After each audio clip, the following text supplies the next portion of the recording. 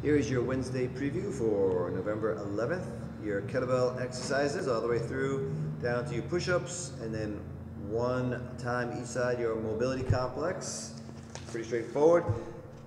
Then your workout. Uh, that's it. Uh, AMRAP, as many rounds as possible. That's all we're doing. 1 through 12. Get in as many rounds as you can. And uh, you'll see uh, in color the highlighted uh, kind of modified numbers, modified exercises as needed. And I'm guessing probably three rounds, maybe four, depending how fast or heavy you go. And want to appreciate everyone coming in with their masks on and doing their best. Again, we're really encouraging our masks breaks um, and breathing properly as much as you can.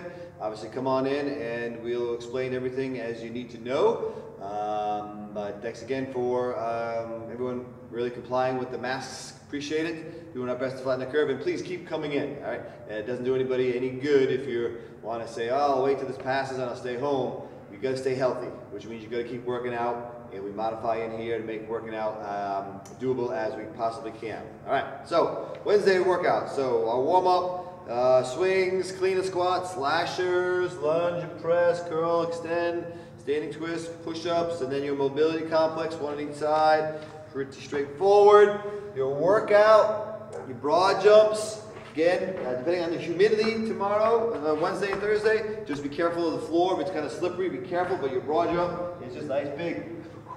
Jump, land, nice and easy turn, and go. Then we're going to do our deadlifts, all right? So if anyone wants to get here early and uh, push themselves on the deadlifts and they want to get a barbell, Go on, go on over, get it, bring it to your spot. It'll be yours. Otherwise, uh, deadlifts with a kettlebell, two kettlebells, big, heavy ones if you want. We're a little wide with our stance. Getting as low as we can. Keep that back nice and straight. All right, watch. As you can see, a little arch in that lower back. Push the hips back, down, squeeze those glutes as you stand up. Ten of those. All right, we haven't done this one in a while, but it's a fun one. So we're going to be bent over, chest slammed. So again, kind of like that deadlift position at the very bottom, and then we're going to pick up that ball and slam it down. Get it. Those are fun. Ten of those. All right, we've got our ab wheels. So one for every spot. If you don't like the ab wheels, if it doesn't feel good, get a Swiss ball out, and you can do some plank circles instead. Then number five, simple push-up, four mountain climbers. All right, so let's push up. One, two, three, four. Push up, and one, two. So just five of those your hand-to-hand sumo. Okay, so sumo squat, Nick. And get nice and low with that butt. As you come up, pull that weight up and switch up top. So use a lot of your legs to kind of pull that weight up and then switch hands up top. 10 of those. Plank, fly. This is where the light dumbbell comes in. So just one dumbbell, one hand's gonna be on the ground. Good solid plank. The wider your feet will give you a little more foundation. Might be a little easier for you. Find a spot that works for you, and then control that. Okay, nice and easy. Bring it up, and control. So we're gonna do five of those on each side. Again, light weight for that one.